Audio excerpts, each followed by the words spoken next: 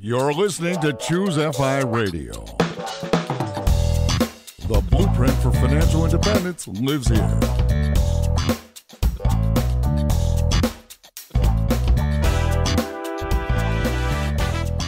If you're looking to unlock the secrets to financial independence and early retirement, you're in the right place. Stay tuned and join a community of like minded people who are getting off the hamster wheel and taking control of their lives in the pursuit of financial independence. Choose FI, your home for financial independence online.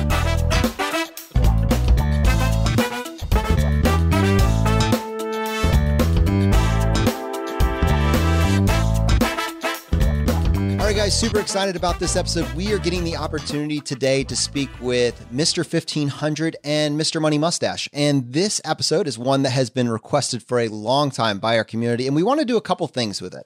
Obviously, we could talk about the how of financial independence, but it's something that I think has been covered really well over the past several years and over the past like seven years on MrMoneyMustache.com. What we wanted to do today is have a slightly different episode, almost like let's take a look back Mr. Money Mustache over the past seven years has reached millions and millions of readers. I mean, the information that him and Carl have been putting together when they've been forming this community have changed thousands and thousands of lives. Today, what we wanted to talk about is how to create reality. What's next? I mean, you're well into your early retirement, financial independence. Like, what's next for you guys? Community building and second generation FI. Very excited about this conversation. And to help me with this, I have my co-host Brad here with me today. How you doing, buddy?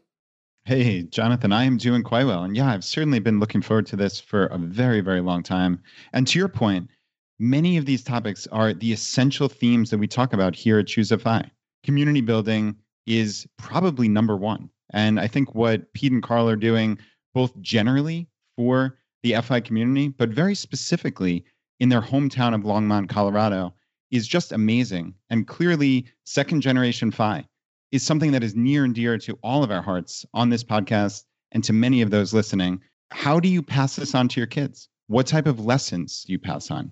How do you make the best life for them while also understanding that their path is not necessarily yours? So it's it should be a fascinating, fascinating conversation. And with that, Carl and Pete, welcome to the podcast. Thanks a lot. It's been a long time coming, so we are happy to be here.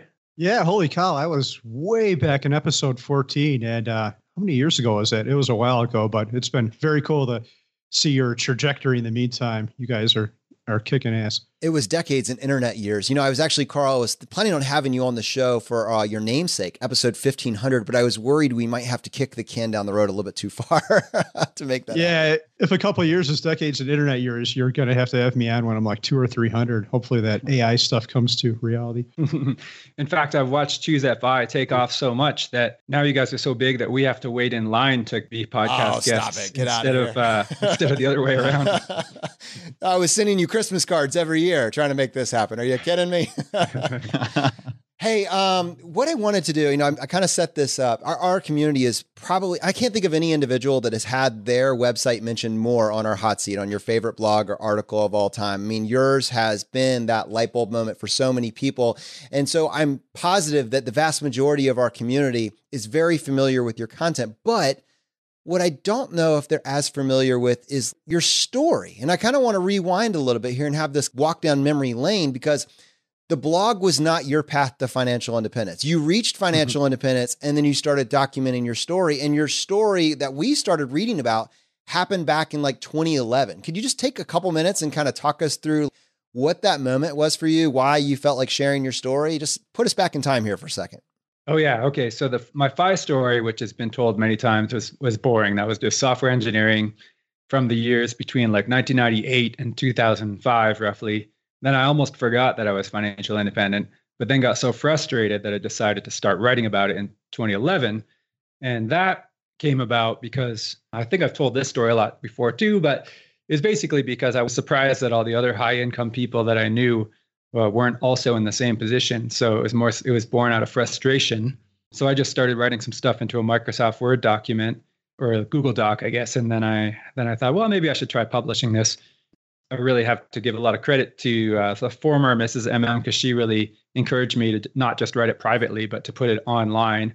And once it started finding its own audience, that was the real key. And this is probably the thing that makes or breaks almost any blogger is if you start getting enough people reading your stuff right away and commenting and giving you feedback, then you're encouraged to keep going. And keeping going is the real key to success. But almost nobody can keep going in the absence of feedback. So I was super lucky because of like the early retirement extreme guest post that I did. It was like a free round of initial readers and and so many so many pieces of good luck uh, is what kept me going to this point. And now it's really easy because I can just write stuff occasionally. Can we just talk just for a second about your notable lack of a mustache? Like, like I feel with that moniker, you should have like fur, you know, coming down. Like we're recording this, we have video for this. No mustache, man. So where does the moniker come from?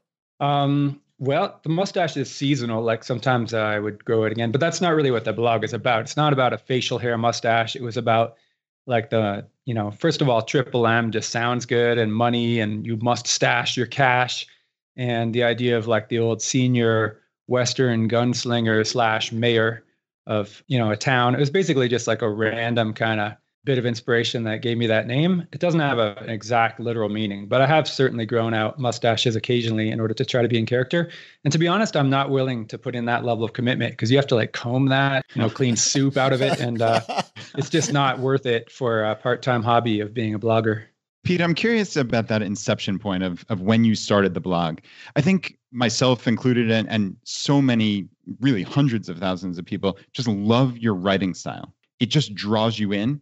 Have you always been a writer? I mean, you're an engineer. Did you know that you were going to be this good? Did you always love writing? Right? Like, please I mean, go on. Can we go on more about how excellent? No, but I mean, it, it's a yeah. real, real serious question. I've, I've always been curious. How does a guy who is the ultra optimizer engineer get to be such a creative writer? Okay, well, the sec- my secret is that I'm not really an engineer. It's true that I like optimizing stuff and I was okay at math and, and good at software development. But really, I'm born from a long line of artsies, like sort of hopelessly disorganized writers, artists, musician people. I pay the price for that in terms of like never being able to find my car keys and my wallet or any of this stuff. Well, fortunately, you have a but bike, so most of that is unnecessary. Yeah, exactly. and in fact, I think early retirement was partly a uh, whatever a coping mechanism for me in not wanting to stress about like money making and keeping track of careers and stuff. I was just like, well, why don't we just do this another way? Put it all on autopilot so I can focus on doing what I really want to do so um, I think writing and music are one of those things that is kind of like has a real artsy side to it in a human, and this you can certainly nurture that. But there's also a lot that you're born with or born without. So in my family, you get a lot of free, like thanks to my dad's heritage, you get a lot of free music and writing ability, and that's what he did. He was like a jazz musician and a writer for his whole career. So um, yeah, I, I'm thankful for that, and so that just means I have fun with it. That's all. Cool. You know, I, have never done this on the show before, and I, I just I want to do it today. So with you guys, with your guys' permission, I actually want to take like two minutes and read the first guest post that Mr. Money Mustache ever did. One month, basically, right, Pete, after starting your blog on early retirement extreme. Would you humor me for this exercise? I feel like that's pretty long, but yeah, you're welcome to give it a shot. I haven't seen this thing in many years. Awesome.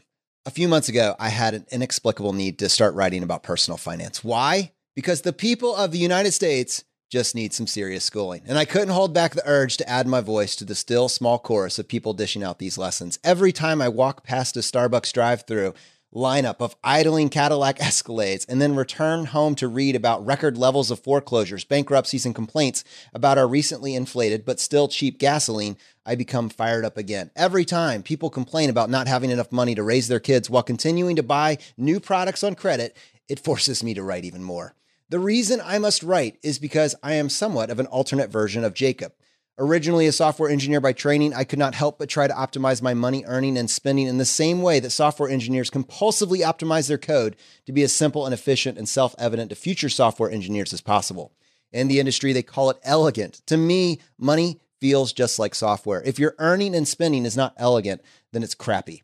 And if you're causing suffering to you and your species and planet by not optimizing, it's an emergency. Because of this optimization, my software engineering career was short lived.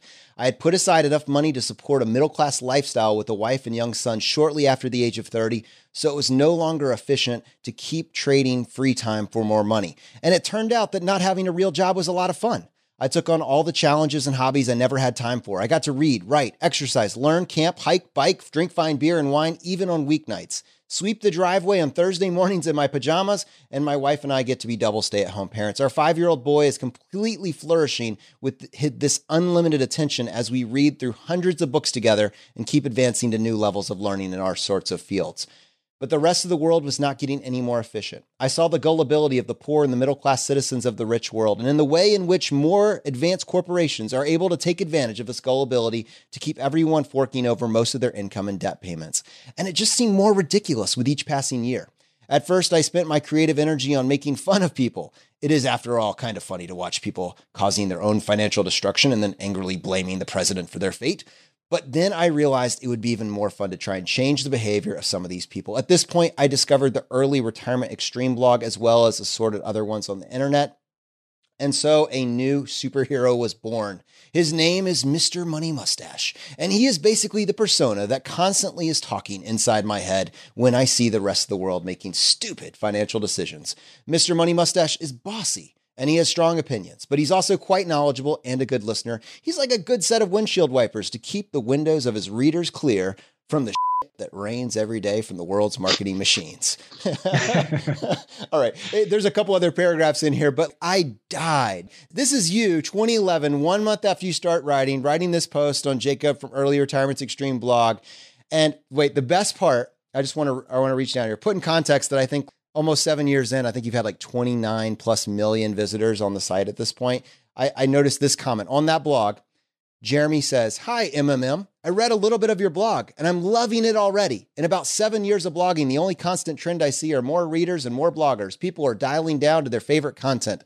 And if you can at least provide something semi unique, I am sure you will get plenty of readers. So that was one of your early feedbacks on a guest post. Carl, what are your thoughts on that article, man? Uh, I had actually never read it. This is my first time, so I'm uh, I'm, I'm gonna try to absorb it all. But yeah, I think about Mr. Money Mustache's trajectory, and it's uh, we ended up at the same place. We came back. We came from different places, though, which uh, I think about often. I think Mr. Money Mustache probably had a little bit more stable of a childhood than I did. So the reason I'm here today is because uh, I could see the mistakes my parents made with finances, and it terrified me. It put this fear in my soul as a young kid. And uh, my dad struggled with alcohol- alcoholism, so there were struggles growing up. So uh, I've kind of questioned myself, like, am I even worthy to be here? Because Mr. Money Mustache had this perfect upbringing, and he came to all these realizations because of the right for the right reasons. Whereas myself, I came from a point of fear. And I guess that's okay. I've come to reconcile that as it doesn't really matter where you come from, it's where you ended up. And now I'm happy, and uh, our trajectory is pretty similar. So I'm happy with it now. But yeah, that's a hell of a post.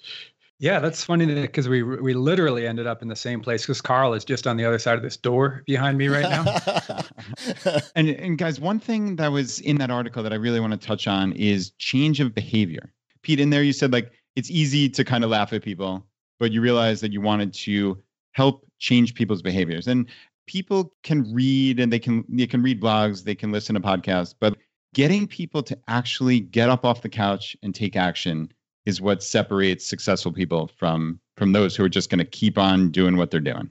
Have you guys found and Carl, I guess uh, start with you. Have you found in your writings anything that actually gets people to change their behavior. Even like a couple of actionable tips that jump off the top of your mind that you've noticed that's more successful than not. Like Jonathan and I talk about this a lot here. We would love to bring this concept to more people, but there's a different message for everybody. There's certain things that that sink in better than others. And I, I just love to hear your thoughts on it. Yeah, well, first of all, I will tell you what does not work. And what doesn't work, especially for me, is telling people, especially in the real life, if you tell people they're making a mistake or call out some errors you think they're making, they're going to be even more resistant and they're going to fight you. So the conclusion I've came to for myself is to lead by example. Just show what an awesome life you're having and what you're doing, and let people come to ask you about it. There's an old saying that goes, "When the student is ready, the teacher will appear." And there's different kinds of stimulus that might make the student ready. If someone goes through a, a real bad financial hardship, if there's a recession or they're they're going to lose their house. That might be a point where you can get to someone So if the message is ready when they need to hear it, uh, they're going to learn and it's going to resonate with them. And I think about this because that's how I came to this whole movement. So I was a saver and we were pretty frugal, but I still had a big house. We were buying new cars. And then I had a bad day at work and I Googled, how do I retire early? And boom, up comes JD Roth and Mr. Money Mustache. So that was an inflection point in my life. I don't know if I would have been ready for the message if I didn't have that stress and that hardship in my life. Similarly to Carl, leading by example is a great idea. And more importantly, um, if you're a blogger, it's good to sort of apply the same things that they teach authors when they're trying to write fiction, which means don't do what most financial websites and blogs do, which is just to lay out a bunch of principles. And definitely ignore the old principles of journalism, which is where you write yourself out of the story. I think for finance or behavior change, you want to be a character in your story where you're telling the story of your own life, and it has to be a life that your readers would want to live. So you should be talking about what you did that day and like details too, like not just my wife picked up the kids in the car. It has to be like the old 94 Accord, you know, wheezed into the driveway and stuff. Things that you learn. People want to hear details of your life. They want to live like you. And you have to be personable. And basically, they have to feel like they are your friend.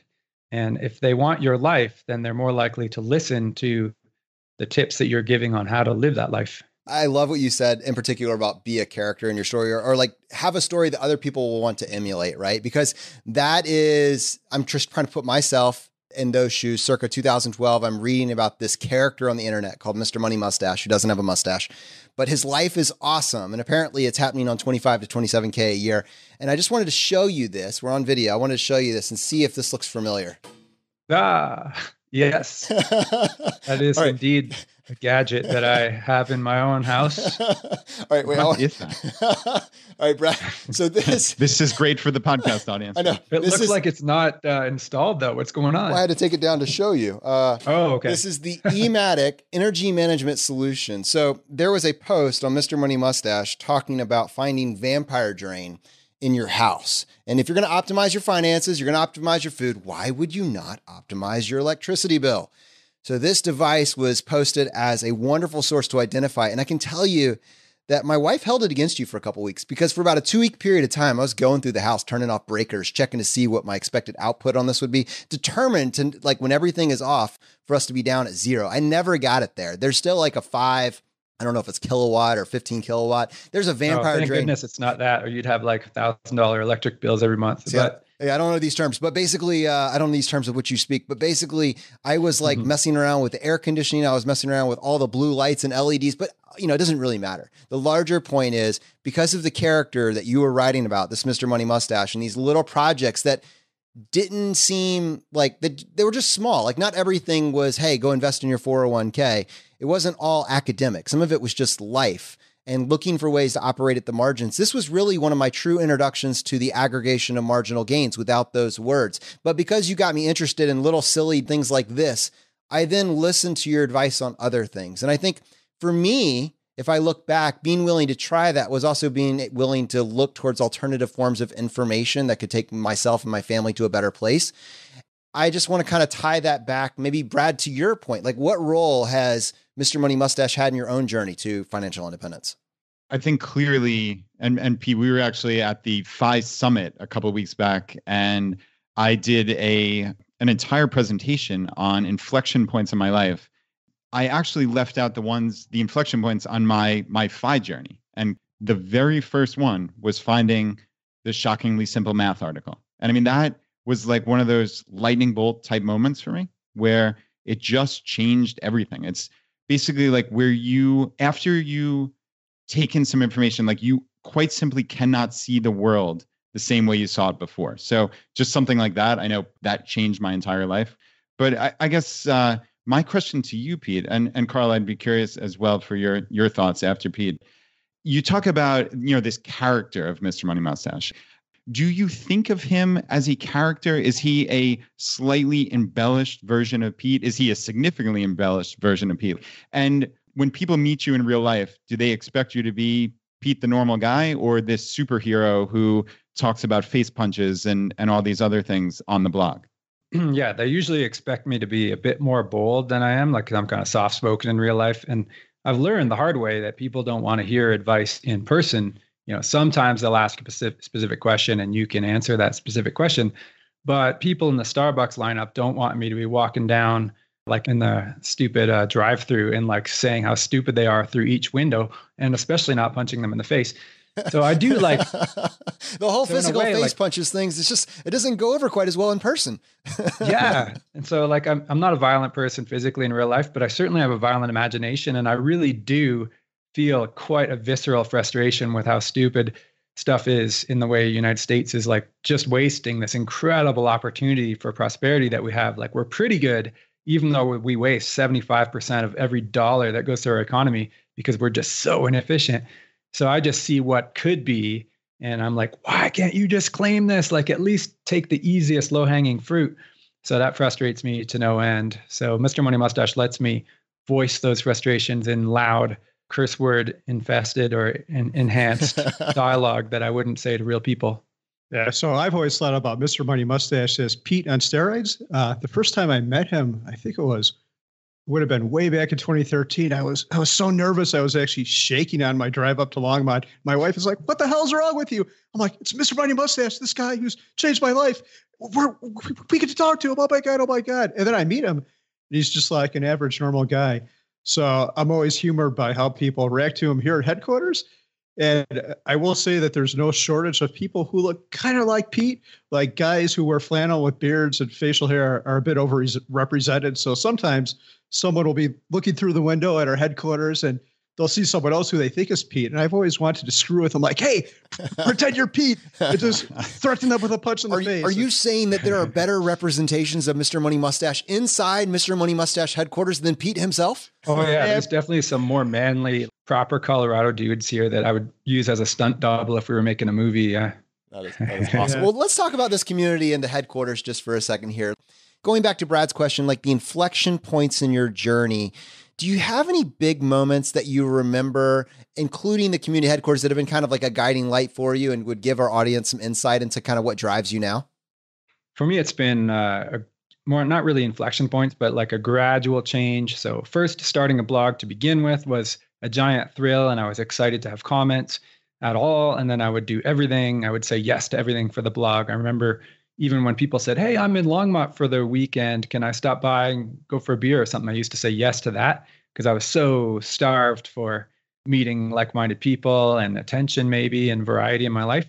But then as that got more and more overwhelming, I dialed that back. And then I, then I was doing a series of trips related to the blog. And, and then I realized those aren't really satisfying because you could spend your whole life traveling and not really meeting any real life nearby friends in your town. So the headquarters, which is a co working space, was a way to address like let's take all of the benefits of community that a blog or online platform gives you but make it real in a way that can make your life better in real life. So starting it here you basically have to live nearby in order to have any value of joining our our club here. So we're pretty much automatically harvesting a bunch of interesting fun friendly people who are all a little bit unusual because you have to go out on a limb to join something started by an internet guru and because of that, it's been really fun. And these are real friends. And now we find ourselves going out on hikes or bike rides with them, or like some of us are playing music together and our kids are meeting and all this other stuff. So it was just a gradual refinement of what starts out as an opportunity. And then you, you, and this is like applicable to everybody who goes into financial independence, early retirement, because you're not going to know exactly what you want because you've never been in this position of unlimited adult freedom before. Once you have it, you can start experimenting on yourself and figuring out what it is that really gives you the best life. That's what Carl and I are doing. We're just doing it a little bit more in public than our average uh, readers might be, I guess. Carl, I'm curious, like, what's been the most surprisingly positive thing to come out of of being involved in this real co-working space where you, as Pete said, you're getting together with people in your community. He's talking about playing music. You know, I know you guys lift weights in the back. You could have anticipated things like that has there been something unanticipated that has added just a lot of value to your life? Yeah, it's it's really amazing on a lot of different levels. So to answer this question, you have to understand what a co-working space is really about. So on the surface, you might think it's just a place where people go and work because they don't want to work at home. And that's part of it because everyone could work at home, but eh, they could work in the library. So what a co-working space is really about is meeting other people and having interactions with other people. And then it goes beyond that. It becomes like Pete said, it's a community building thing. Besides the working, we have events on weekends. We have all this other fun stuff going on here. But the really fun thing to see is some of the magical interactions. And uh, one of them happened a couple weeks ago. Someone came in and I was talking to him. I'm like, hey, so what's your full time job? He was still at work. He's like, well, I work for this company that made their name with auctions on air cooled old Porsches. So I'm like, oh, that's pretty cool. So then a couple minutes later, I introduced her to someone else and she said, what do you do? He's like, I work for this car auction website. And she's like, oh, that's interesting. My dad has this old crappy like Porsche 911 in his garage that he's been looking to get rid of. And boom, they've made this connection that they would not have had, that probably would have never happened in the world outside the co-working space. And there's been a bunch of other things like that where people are collaborating on things. Uh, we're talking about starting a brewery and all these crazy other things. So at the very surface, it's a co-working space. At the bottom, it's what's the real meaning of it comes from the community aspect, though. And we're much more than a co-working space. If you think about it as that, is that you're thinking about it incorrectly. And actually, just a quick another story that's similar is two members who didn't know each other before. They have teamed up and gone into casual business together to buy the building right next door to headquarters here.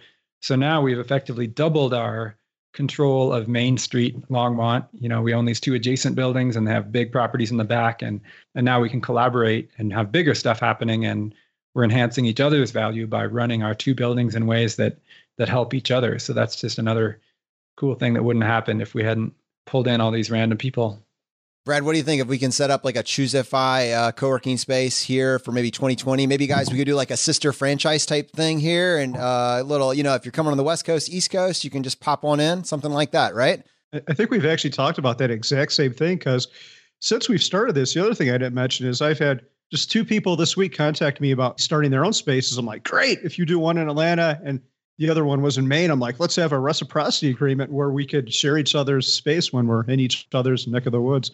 So yeah, do it. ChooseFIHQ.com. we need one so bad. no, Brad, we need a layer. Cool. that's really cool. And, and Pete, I mean, you said a minute ago about really not having this much freedom and, and free time in your adult life. I think so many of us just go through the motions, frankly, right? Like that's the hamster wheel that a lot of us that we talk about here at ChooseFI, where you know you're just going off to work because that's what adults do and you come back home and you sit in front of the tv i'd love to hear like how this actually impacts so obviously you're running this co-working space. Let's even put that aside and just say like how does this look on a regular day-to-day basis? Like how has this become part of your life?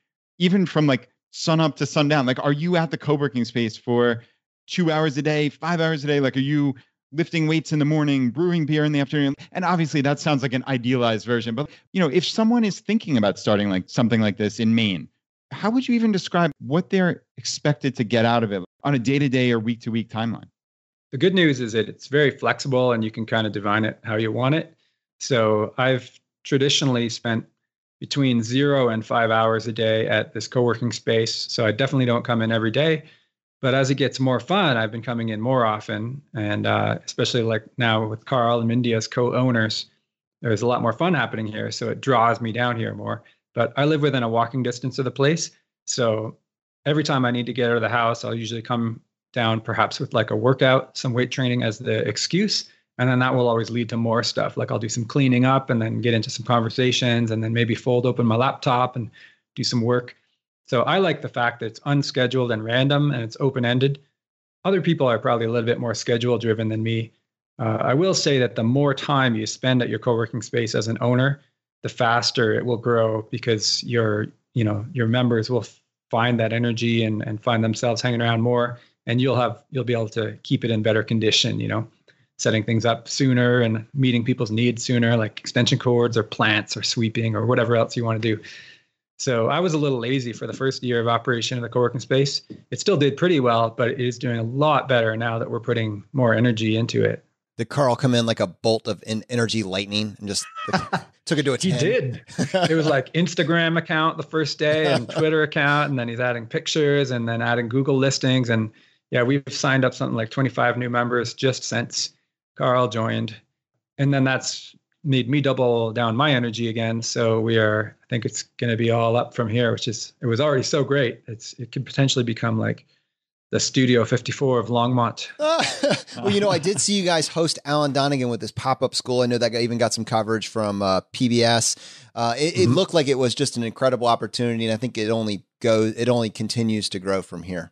Yeah, yeah, it's been really good. So one thought I always had, Pete and I had a conversation a couple weeks ago, and that conversation was I in the past I've always really wanted to own uh, a storage locker facility because I thought it would be minimal time uh, devoted to it while you've got money coming in. But since then I've changed it. I, I think the best business to be in is a co-working space because there is money coming in, but you also have this awesome social interaction.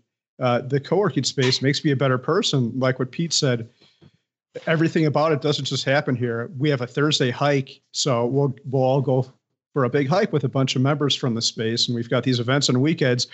I'll come here for a date night with Mindy on Sunday night. We'll be like, "Hey, the kids are playing with their friends. Let's walk over to HQ and, and have a drink." So Sweep my life is take out the garbage. yeah, yeah, it like gives the, some meaning. It's like the country club of FI. it is. It is. It kind of is. My life is better because of it. Yeah, the funny part is a storage locker business. I used to think the same thing. Yeah, it's a passive income and it's a growing market, but you're actually wrecking a little bit of your town by running such a thing because you're wasting land that could be used for something productive. And you're encouraging people to wreck their lives, which is holding on to stuff and paying to store it when when pretty much everything in storage should be like Craigslisted. It's a sign that people have gone too far in most cases, long-term storage. So the co-working space, it feels good in your heart because you know that almost everybody who's a member is getting constant lifetime benefits from that and, and helping each other.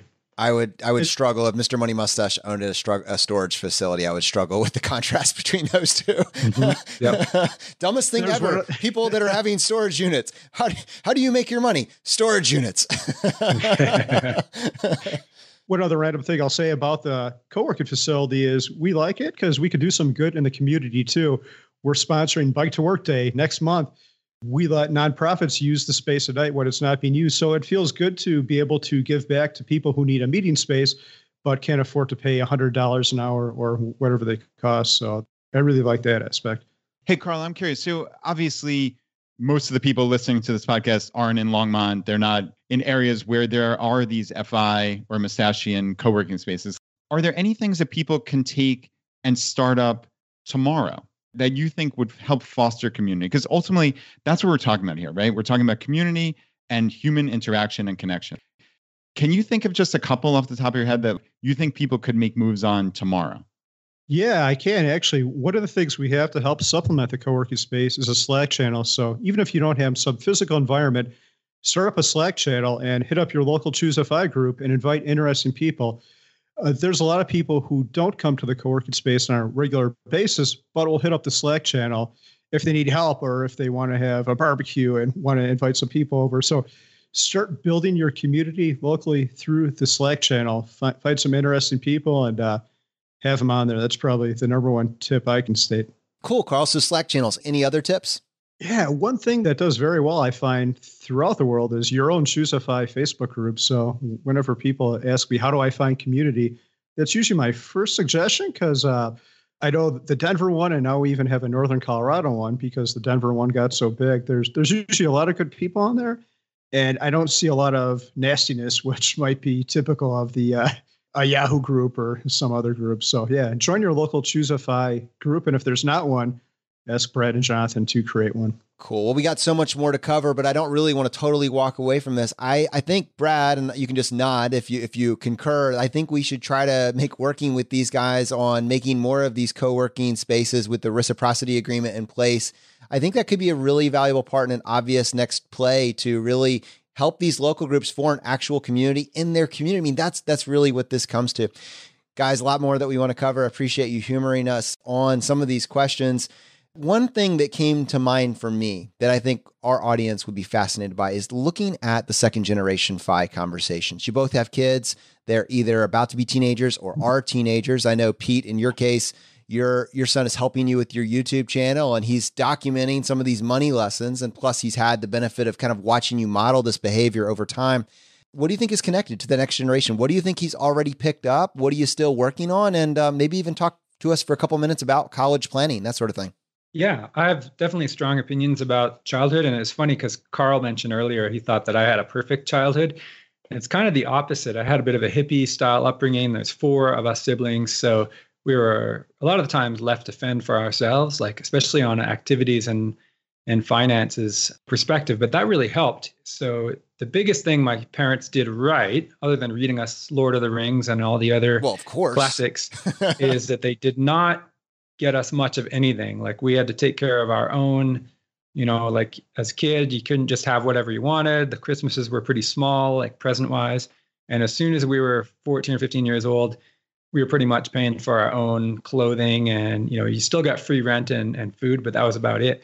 So we had to pay for most or all of our own university educations as well, get part-time jobs. I remember cutting the half acre grass with this crappy gas powered lawn boy lawn machine like even when I was about 10 years old or 11 or 12.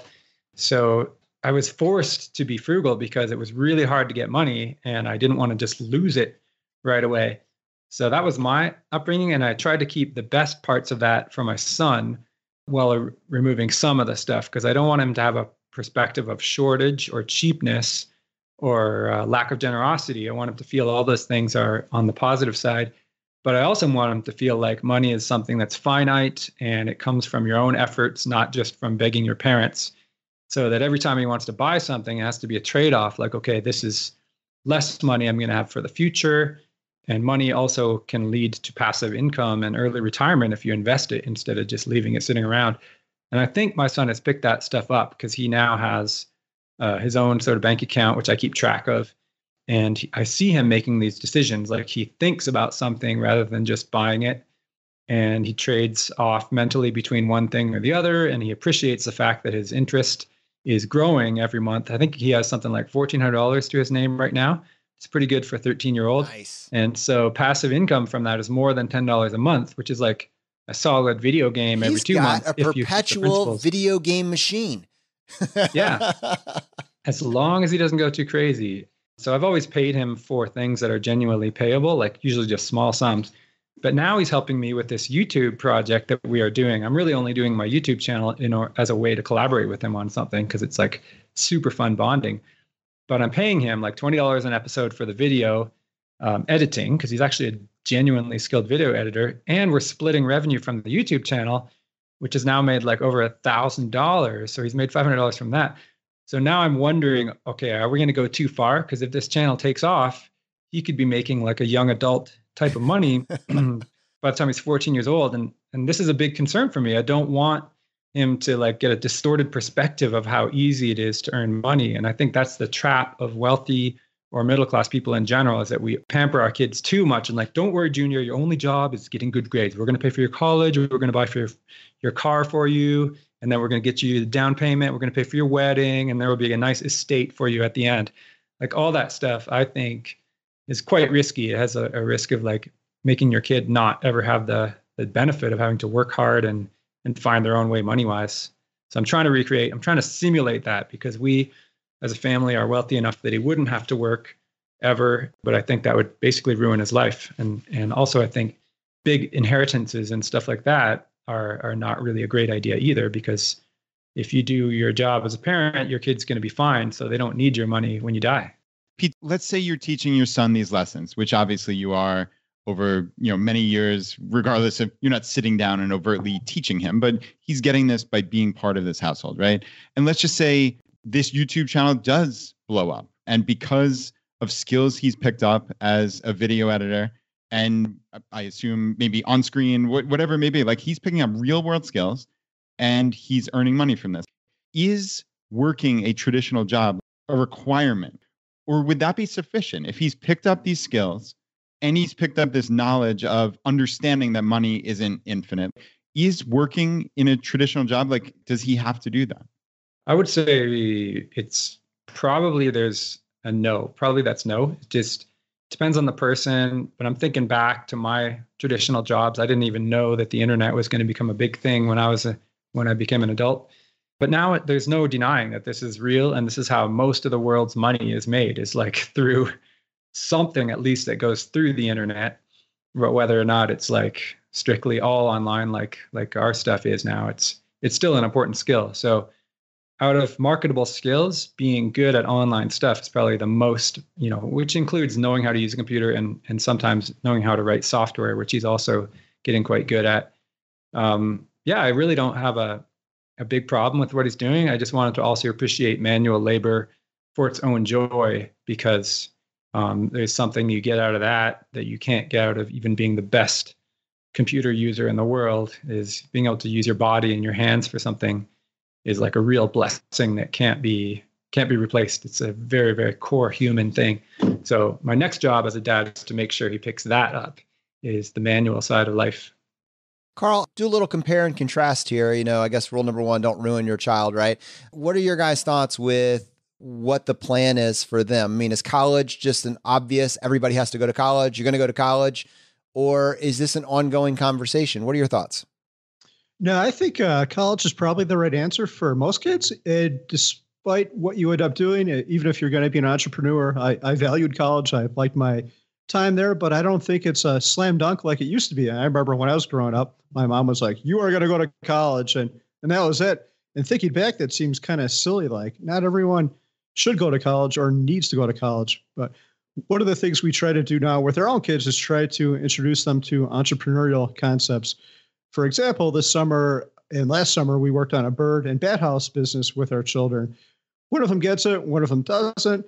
But we're trying to show them what it goes into, what goes into starting your own business, how you market it, how you have to build this, how you have to pay for raw materials, and all all that type of thing. So we're definitely trying to give them other ideas, but it's a struggle. Even if they do go to college, similar to what Pete was saying, I think it's important no matter how much money you have, that your kids think they have some kind of skin in the game. So even if we have infinite money at that time, and we kind of have that now, I'll, I'll, probably still have my kids pay for part of it, and maybe we'll swoop in there at the end and help them pay off their loans. But I think it's important for them to know that they have to work, that nothing is just handed to them, because that's not how life is like. Carl, I'm curious. So you said there with this business that you guys created, one of your daughters got it and one didn't. And I'm curious, like where you see that otherwise with money lessons. How do you tailor the message to your two daughters who really are both obviously different ages? I believe one's nine and one's 12 right now, but they have different personalities and, and different ways of approaching this. Have you found a message that works for each of them? Yeah. And just to go back a second, I think uh, I've heard people say I'm a born saver, and I think there's something to it. There's definitely a genetic component because even our older daughter, when she was six, we'd go to the store, she'd have some money, and I'd be like, "Well, you can buy this, but if you buy it, that money is gone forever, and you won't have a chance to buy anything." Or you could save it, and it earns interest, and almost like 99 times out of 100, she would say, "Okay, Dad, I'm not going to buy this. I think it would be better to keep the money in the account." Our other child, the younger one, she's like, "Okay, um, I want that stuffed sloth from Target." Like, really, once you spend it's, that, you, it's already a collectible.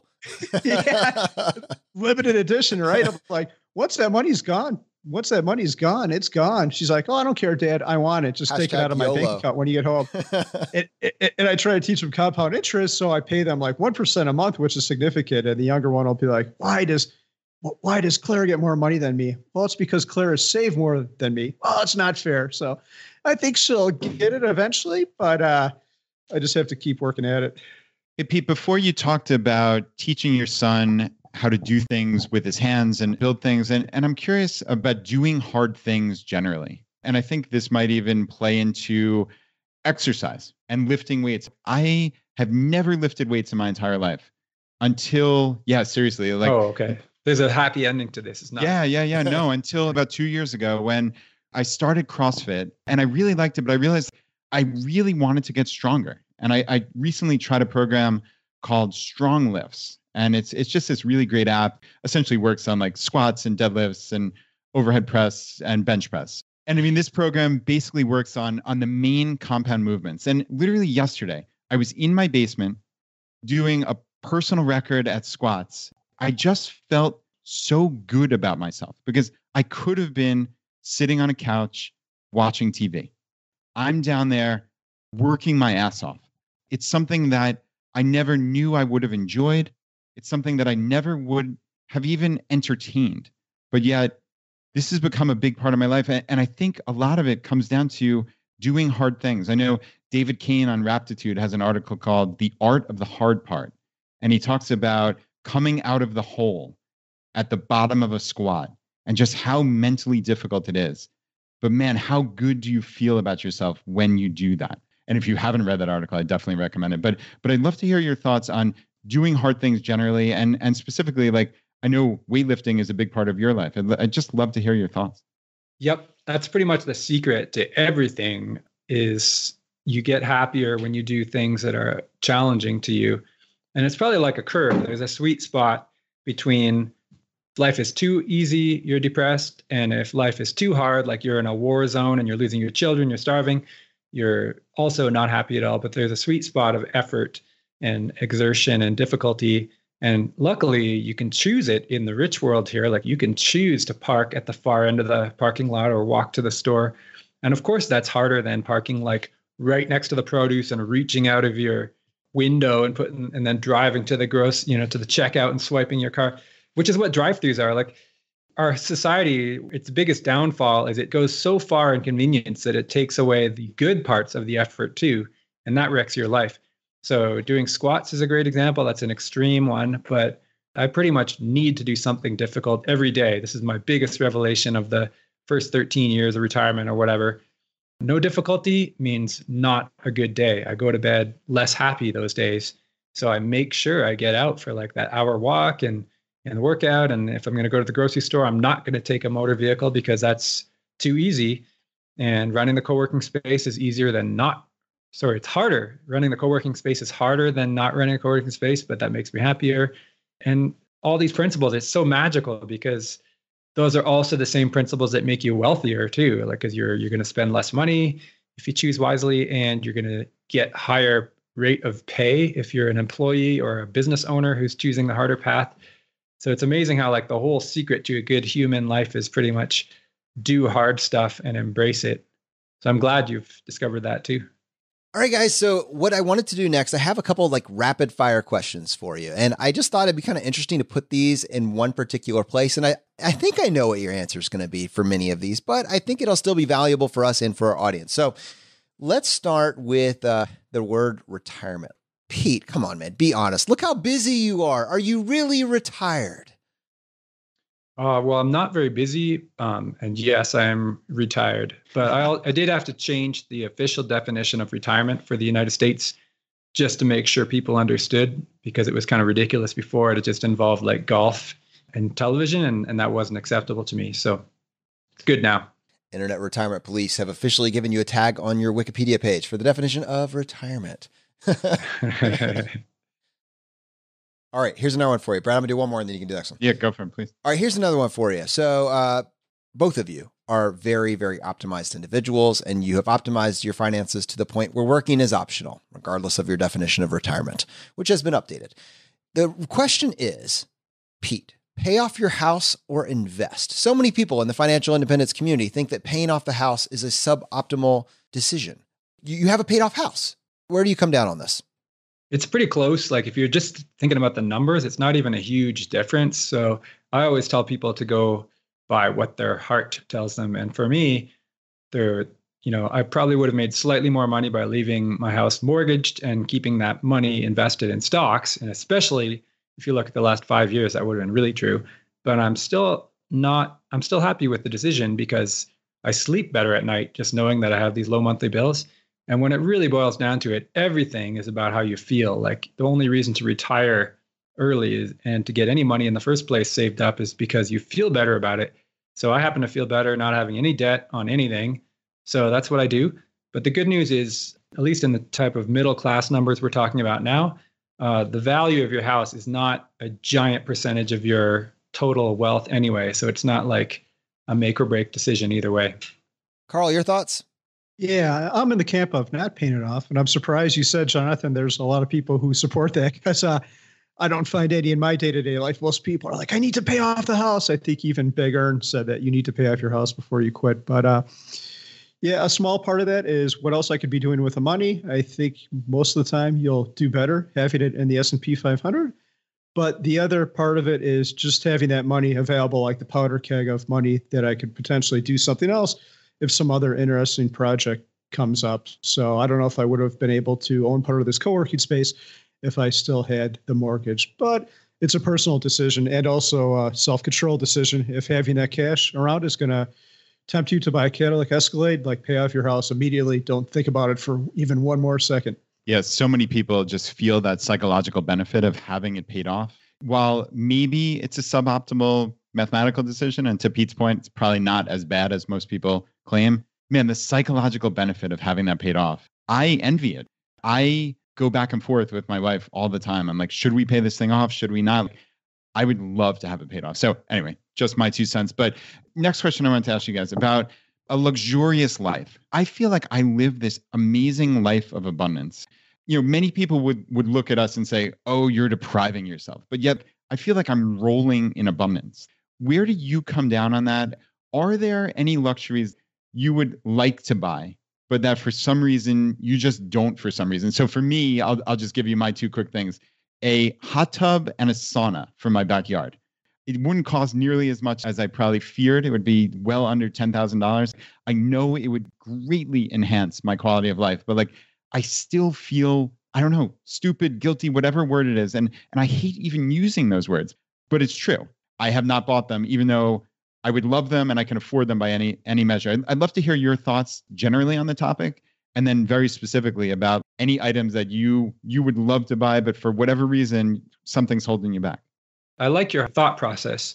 You think you want hot tub and sauna, but you force yourself to stop and think about it at least for a while because um, the more that you can afford and the, the bigger your money situation gets, if you don't check yourself, it gets ridiculous. Like that's how people end up with 10 homes and like memberships to golf clubs that they've never seen, you know, and then like rows and rows of cars is because they don't have this balance of questioning yourself. And I think it's okay to get things that you really do enjoy. I have, I literally own thousands of items myself, and a lot of them are pretty nice and luxurious. Like a lot of them are tools or gadgets, you know, smartphone, laptop, the stuff I'm using to talk to you right now, an entire co working space full of stuff most of it I don't regret buying, but I think that's because I always thought about each thing and made sure that the pros and cons were weighing correctly. And like hot tubs, for example, are notorious for being aspirational purchases that you hop in a few times and then you just you wish that you had more friends to come and use it after a while and then people end up selling them on Craigslist for 50 bucks after they've drained, you know, gone moldy and and had a few seasons of of underuse. Have you so have you met Brad? He he's our neighbor. He lives down the street. He has the sauna and the moldy hot tub. yeah. In fact, doesn't doesn't Carl have a hot tub that he put in and now doesn't use very much? Is that true, Carl? I do have a hot tub, but I bought it for fifty dollars, and it is currently broken and leaking. So, uh, yeah, now I use it zero percentage of the time. Yes, and how does that make you feel? It's probably a burden on your psyche, and like every hot tub can get broken and leaky. So even if you buy a new one, it's still anyway. That's that's a trade off. Like you might still come down on the side of getting it, Brad, but it's great that you're thinking about it. And I think that's all it really takes to keep you out of trouble, because the wealthier you get, the less that threshold of affordability is going to to hit you. But there is definitely a point of enough, and your life gets more and more complex for everything that you add. And uh, I think I'm already at maximum. I'm maxed out. That's why I don't want anything that I don't already have because uh, I know that I'd, it would be more work to to take care of and think about that extra item. And I'm already like feeling pretty, you know, my limited mental capacity is quite full already with everything that I own. Yeah, consumers of time and mental bandwidth are definitely the enemy of life. Yeah. My latest blog post was about my ongoing battle to not buy a Tesla car, like the Model 3 specifically, because it's beautiful and it does every, you know, it's like the culmination of cool technology that human humanity's ever invented. But then I would have this car that I'd be worried about getting faded and scratched and keeping track. And I'd worry that I'm not using it enough because there's not really much place for a car in my daily life because I've specifically set up my life where I can bike everywhere. So even though this car is gorgeous and I can afford it, I'm probably not going to buy it for years, if ever, until I really, really am sure that it would enhance my life more than it than it added a tax of mental bandwidth to myself. And I doubt you're going to find it for fifty dollars on eBay. So I don't know. We'll have to sift through that one. yep, that's true. I could borrow it free from a friend though, because everybody else has a Model 3 nowadays, and they're like, "Oh, I hardly ever use it. You can just take it." I drove in a Tesla with Mr. Money Mustache. It was awesome. awesome, man. All right, so I got another one for you guys. Like the fire movement. Is this a movement? Is there something in the water? Is there a there there? Like, is this going somewhere? What are your thoughts? Pete, you. Well, it's certainly good branding. And I did not come up with this idea of fire movement. So I can credit whoever kind of first coined those words. But it's excellent. Like everything is about creating, like my whole blog exists to try to change behaviors, right? And uh, across like hundreds of millions of people. So in order to do that, you have to make ideas that stick in people's head and that they naturally spread themselves.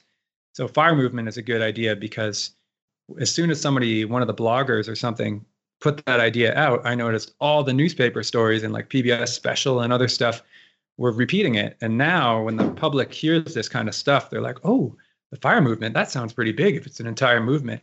So just describing it that way already makes it real. Um, and then the, the other way to measure it is how many people are aware of these ideas and how many people are practicing it.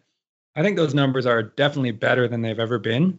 it's certainly in the millions in the United States alone and that's pretty big you know like most companies would drool over getting that type of market share so um, so it's pretty good so far we definitely have a lot of work to do like i'm not going to be content until we're building car free cities where people are walking and playing frisbee in parks and you know kids are growing up healthy and outdoorsy and we're doing stuff a bit more like efficiency in terms of happy living but you know luckily i've still got like between 60 and infinity years to live depending on medical advances. So you got this. Uh, we we got lots of work that we can still get done. Hey Pete, our mutual friend Jillian from Montana Money Adventure, she talks about about moving the ball forward. I, I love this phrase that she uses. It's just talking about these little incremental steps. So, you know, you guys have this co-working space. Hopefully many more of these are going to pop up throughout throughout the country and maybe even the world. What steps do you see to move towards that vision that you have? Are there concrete things that the audience can take to move that ball a little bit forward? I think it really depends on how motivated you are. So, 99% of the readers and watchers and listeners of our type of blogs and podcasts are just looking to improve their own family life and create a better life for themselves. And that's already great because when you change yourself, you're influencing your friends and your neighborhood. And just for example, walking your kids to school if you're close enough instead of driving that leads to a chain reaction where your friends are going to do it more and you've improved your entire town. Some people, upon realizing how good these results are in their own life, they get a bit more evangelical about it and they want to spread it even more. So those are the type of people who might become writers or bloggers themselves, or they might get involved in city governments and try to, for example, make their town more pedestrian friendly or make their car infrastructure safer so less people are harmed by cars. And it, it really doesn't matter um, you know, I love when people take responsibility, but everyone's going to do what works for them, and it still seems to to spread regardless. And I think the reason it the idea of financial independence tends to spread by itself is because it's fundamentally right. Like it aligns with human nature. And a lot of the corporate stuff we've been doing for the last 50 years is directly at odds with human nature. Is like consuming more and more and working more and more so we don't even see our own kids and frankly like sitting in cars where your physical body rots away and you're just like stressed out by traffic and pollution these things are fundamentally not what we evolved to do like this is painful for a human and it makes us less happy so all i'm doing with uh, stuff i write about is trying to align the real world to be more like what us as humans or creatures that have certain living conditions that make us happier i'm trying to make the real world match what we like to do in our lives so that's why it's going to be a winning prospect all over, is, and it markets itself. Is because people live better when they do this. So I think it's going to be, you know, it's going to be a long term win. You know, I love that the mainstream has picked it up. I love that MarketWatch has added a fire movement tab to all of their money articles now. Like it's an actual thing. I didn't know that. yeah. but uh-huh. but I think the counterpoint when the mainstream picks it up is like the messaging, right? Like, oh, be careful of the fire movement, or five things that five reasons you should never retire early, whatever, whatever. Like listicle yourself to death. What I want to come back to is like, you guys are essentially retired using your liberal definition of the word, and more importantly, financial independence. You've reached that point and you're several years past that metric. In your case, Pete, well over a decade. Should we be worried? Is there anything that you realize now? You're like, oh man, wow, I wish I had followed the normal narrative. I wish I had stayed at work. So, Carl, I'll start with you. Like, what are your thoughts? Do you look back at this choice to walk away from corporate America with regret? I've never had that thought even once. I I guess when I first stopped, I missed the big paychecks that, that I would get every Friday, that direct deposit into the bank account. But uh, I don't think there's any amount of money that would cause me to go back to work.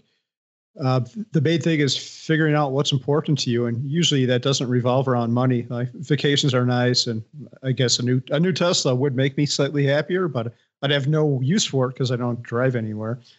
But uh, yeah, figure out what makes you happy and realize that that usually doesn't involve money, at least not directly, and go with it. Yeah, the quick answer to your question is that no, you should not be worried because worry is a waste of time. There's never a reason to worry about anything. But um, financial independence is really just the starting point. As I said earlier, it's uh, it's getting rid of the money worry, which is a great thing to get rid of initially, and then begin this journey of exploring what really makes a good life for you and it's really a much more human way to live is is like a long it's like being a, in a 60 year university free form class where every day you learn something different. And uh, yeah i certainly have no regrets and it's it's challenging but it would have been much harder for me if i were also dependent on a job at this age. Like oh man i would i could see myself having like some serious midlife crises at this stage, being 44 years old and still dependent on a job and worried about that job going away, if uh, and you know, feeling like I'd be out on the streets if I didn't have it. So it's like it's a no-brainer. It's a it's definitely a win. Yeah, the biggest issue I have with the fire movement is you see people discover it and they embrace it. And then they'll be like, hey, I've done my numbers and I only have like 830 more days until I could retire. And when people say that, I I get all queasy inside because that's the wrong way to go about life, and that's the wrong way to view fire. this coming to... from Mr. 1500. oh, I wanted yes, to say that, Jonathan. Exactly. I was so close. exactly, and you're totally right. you, you are absolutely right because I realized about halfway through, I'm like, what are you running to? You're just running away from a stressful situation. What the heck are you going to do after you quit your job? This is ridiculous. And I, I even thought about deleting the blog because Going to look like a fool because I have to stay at work because I have no idea what comes after this. So if anyone's listening, don't lament that you're not fired yet. Even if you have a pointy haired boss you hate, find some way to find happiness in every single day and think about what life is going to be like afterwards, but start planning for that now and start living life now. Don't wait to live life until after you've hit your number. Do it right now. All right, guys. Now, in most shows, that would be the end of the episode. But on this show, Pete, we would love to give you the chance to tackle the hot seat. Are you ready for this? Yes, of course.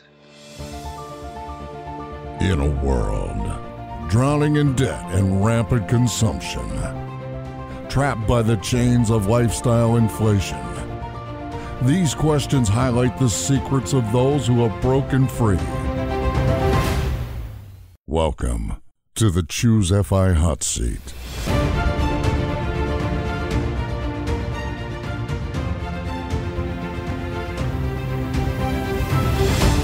All right, Pete. Question number one: Your favorite blog that's not your own? I don't really read blogs, so that's a pretty tricky question. But I'm I've become a bit of a fan of 1500 Days recently, and I especially liked the most recent one article about uh, how Carl allegedly hates the four percent rule of like how much you have to save for early retirement because he he put it really really cleanly on why it's really nonsense that people spend their lives worrying about this super academic pointless like I save 3.2 or 4.0? It's like just relax and retire. I love it. All right. Well, question number two your favorite article of all time. Now, I'll give you a little bit of uh, leeway here. This can be either, you know, someone else's article or one of your own. Is there one article that you wrote out of the 500 plus articles over the last, you know, close to 7 years that for you still stands out? Yeah, the funny part is my favorite article is not anybody else's favorite article from my perspective, it's this one that's called The Practical Benefits of Outrageous Optimism. And it starts out with this photograph of Captain Picard, and uh, it makes me laugh at my own stuff. And I think it's very practical. Whereas other people, they, they usually talk about my you know, shockingly simple math to early retirement, which is more of just like a dry, somewhat mathematical post. So for my own entertainment, one of the favorite. For like the purpose of my blog reaching people, that other one is a favorite. And I'm glad you let me pick uh, stuff from my own because I really can't remember, you know, at short notice what my other favorite stuff on the internet is that I've read. Carl, why okay, you, I've, go ahead. I've Carl. got to chime in here for a second. So if you go back to episode 14, when you asked me that same question, my answer was the same as Pete's: the outrageous benefit or the benefits of outrageous optimism. Because uh, yeah, I, I can't believe we're on the same page with that. I mean, you guys are learning so think about- much about each other. I know. uh, now I'm kind of embarrassed, but uh, the easy part about fire is the numbers. And easy is a bad word. It's not easy. You have to work. You have to Let's say uh, simple, not easy, right? It's yeah, simple. Wrapping your emotions around it, that's the hard part. And that post probably set me free more than any others. I'm like, wow, stop worrying, you stupid jerk. None of that stuff you worry about all the time ever comes to pass. So I actually printed out the post and I have it in my office hanging up. So every time I start thinking about some nonsense, I look, read it. I see Captain Picard there and make myself read that article. I've probably read it like 500 times about now because my nature is to worry. So sorry to hijack the questions. No, that's great, Carl. I absolutely love that. So you literally have this hanging up in Mr. Money Mustache World Headquarters? I have it hanging up in my office. In your office, home. yeah. Yeah, it would be more poetic if it was here, and I can show you right now. But All right, Pete. Question number three: Your favorite life hack? It is discovering that bicycles are faster than cars to get around in most situations because it frees people like me who are impatient with inefficiency. There's nothing more inefficient than like looking at where you're trying to drive in your car, but you see like 10 other people bumbling in front of you in a parking lot, like, oh, I just want to be there. And in a bike, you just slice through everything and you park exactly in front of the door and then you go in and you get home and you like if there's something in the way like some stupid curb you just jump over the top of it. And like on top of all that it makes you more physically fit and saves you money. It would just change the entire world if everybody knew this because i see everybody still fighting in the parking lot even right now after i've been writing about this stuff for eight years I'm pretty sure I have the bike trailer because of you as well. Just good bike trailers are the secrets to carrying stuff on your bike everyone's like well i love to bike but what if i have a pencil that i have to bring home i'd better It's a bring like real pickup concern, truck Pete. It's a real Yeah. concern. it is. I mean, it's like people don't know what a backpack is. They don't know what a trailer is. They don't realize you can carry kids on bikes and they love it. It's just, yeah, it's just certain hacks you got to get out there. And bicycles have these, it's already solved for you. Oh, what if it's not like exactly 72 degrees and perfectly sunny on my bike? And Yes. like then you point out like clothing exists Oh. and you can use different amounts of clothing too. All right. Que- question number four. Oh, I'm excited about this one. Your biggest financial mistake.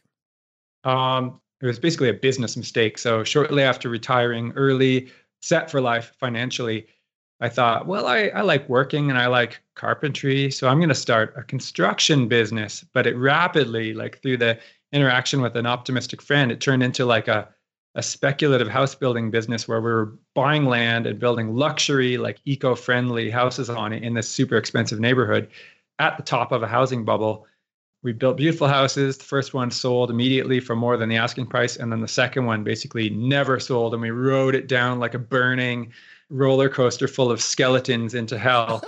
and it was like super, super scary. And I saw my life fortune dwindling because I had something like $500,000 of my own money in this company, basically in the house. And I caused, you know, just wrecked my first few years of retirement because I'm, I'm a worry prone person going back, I, I could have just told myself, don't worry, you're going to be fine. But I didn't know that. I was like 31 years old at the time, 32. And uh, whew, just don't do that. If you're going to retire, take it easy, collaborate with your friends, help them build fences, but don't go start a million dollar company involving credit. Yeah, talking Um, about as hard work. retirement. Fences are hard, but your real estate story is worse than Brad's. Worse than a fence. All right, Pete. I think that might uh, answer question number five here, but just in case, the advice you would give your younger self.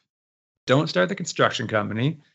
And in general, though, I would tell him just to not worry about anything and like start with the more obvious stuff. Because I was always a little bit of an anxious kid. I would be afraid as like three year old to go to another kid's birthday party without my mom there. I had like an anxiety type personality, and I had to I've had to beat that out of myself throughout the subsequent decades And a lot of stuff, including retiring early, was partly a mechanism to protect myself from worry. I was like, well, if I get all the money taken care of, I never have to worry about money. But it also taught me about worry itself. And now I'd say, uh, for the most part, I'm I'm relatively normal, and and certain things I'm better than normal about not worrying, but other things I still worry about. So that's the best thing to counsel myself, and I think a lot of people would would benefit from this advice too. They tend to worry about things like way more than they need to, and the worry definitely hurts you, and you can recover from situations a lot more than you give yourself credit for. Bottom line is you're going to be making a few phone calls and pressing a few mouse buttons and keyboard buttons to solve almost any problem these days. So just relax and do it. All right. Now we do have a bonus question for you. What purchase have you made over the past 12 months that has brought the most value to your life? And if you say a Tesla, I'm going to end this conversation right now. Yep. I haven't bought a car of any sort in the last 12 months, but it's cool. I do have an answer to this question. So, you know, my wife and I separated. If people don't know this yet, it's an important personal detail. And at that moment, I decided to spring for like buying my own place, my own house in the neighborhood, because I always realized I'm a homeowner at heart. I love having control over stuff. And I want it to be right within a short walking distance of the family, right? We, we don't want to be one of those far apart families. So that happens to be the most expensive neighborhood in an expensive city. So I paid extra to get this these privileges and i'm really really happy that i did. Like that place has given me joy and solace every night. And it's a wonderful place to host my son and friends. There's been like a never ending stream of visitors coming through there because i got extra bedrooms. It's a small place. It's a small house but it's more than just a budget apartment or like could live in a van down by the river if i wanted to save money. And i'm glad i spent more on housing that that really meets my my lifestyle needs and uh, yeah, I feel that every time I'm there, every time I open the door, and every time I play loud music in there, and every time I go to bed. Um, so home is has always been a big part of my things that make me happy. So I'm glad I stuck to my being willing to spend money on it in this case. Awesome. Well, you know, Carl from Mr. 1500 Days and Pete, Mr. Money Mustache. I think people know where to find you. But Pete, in your case, I'm curious. Most people have heard of your blog. Most people have read your blog, but there probably is an individual that is hearing about it for the first time on the show. And my question to you is someone comes to your content, you've got 500 plus articles. Like, how would you want them to interact with your blog? What is the best way for them to dive into that content? Just read whatever's on the homepage? Like, your suggestions. Yeah, the good news is it is set up specifically for that. Like, if someone were to just go to MrMoneyMustache.com, there's like a little flippy box with five to 10, you know, recommended articles to whet your appetite. And then there's also clear links saying like, are you really hardcore? Here's a list of all the articles. Makes it really easy to navigate. Or do you like to read offline? Here's a link to the app. You can get a free app that reads my blog super nice for like both Android and iPhones. So uh, I'm hoping it's pretty easy to get to get into it just from with that as a starting point. Awesome. And Carl, for our community, someone's listening to this, they want to find out more about your story. We featured your story in episode 14 of our podcast. Highly recommend that people go back and check that out. But if they want to go straight to your blog and find out more, what is the best way to do that? Uh, they would go to 1500days.com. And I always recommend uh, that they don't go go visit someone useful like Pete first, because my blog is more of a, if you want to see what life is like after fire, read my blog. But if you want to read the mechanics, read Pete or Early Retirement Extreme or Mad Fientist, get that down. And, and then you could read my blog. So thank you. Awesome. Carl and Pete, thank you so much for joining us on the show today. It's been great being with you. Brad, we knew that this was a special episode, and we knew that when we're talking to Carl and Pete, and in particular, Mr. Money Mustache, that our show has been going for two years. We have not had him on the show yet. This was our opportunity to really find out more about his story. But I think more than that, we had an obligation because our community is so familiar with him to go a little bit deeper. Like, we don't need Pete to teach us the how of FI, right? But I think as a leader in this community, as a guy who has a message that has resonated around the country, going behind the scenes and walking through kind of the four different goals that we we set out. How did this happen? Tell us a little bit more about how we got here. Tell us a little bit more about community building, second generation FI, and how to create reality for the future. What does it mean when you're 10 years post FI? What do your goals and objectives look like for yourself and for those around you?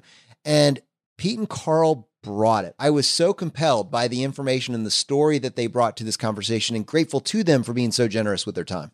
Yeah, Jonathan, I agree completely. This exceeded even my lofty expectations. And Carl and Pete have become friends of mine over the last couple years. And it's this nice treat, right? It's a rare opportunity to get to ask them these real in depth questions and go back to those formative moments. When Pete is starting this blog, what is he thinking? Does he think of himself as a writer? Like I've always wanted to ask him that question. And to get that opportunity today was was really fantastic. And what we spent a lot of time here talking about, Jonathan, was obviously the FI community and how we help foster this and bring it together, right? We see this movement. How do we bring it into people's lives? And I think that is a huge goal of mine. And I know it is for Pete and Carl as well.